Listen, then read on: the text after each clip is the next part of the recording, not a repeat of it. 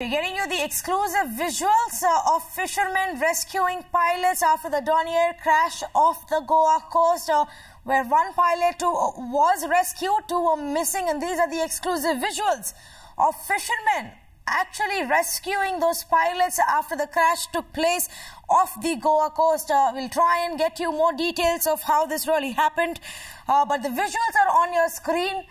They were saved by fishermen in this area. Ashish is on the phone line with us. Uh, Ashish, the visuals are on the screen. Fishermen coming to the rescue here.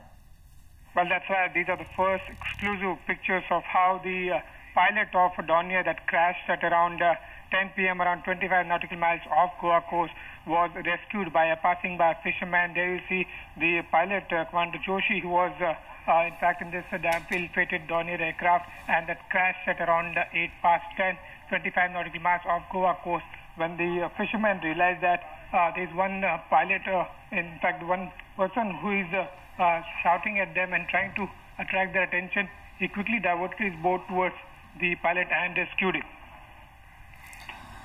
Right, Ashish, these are the visuals getting, but the search operation, so the other two pilots are still on?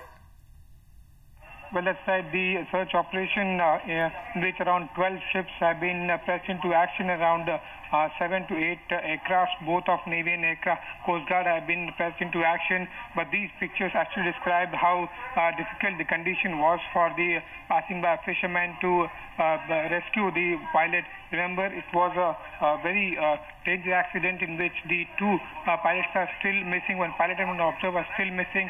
And these are the actual pictures when the uh, the injured pilot was uh, being handed over from the fisherman boat to the uh, Navy small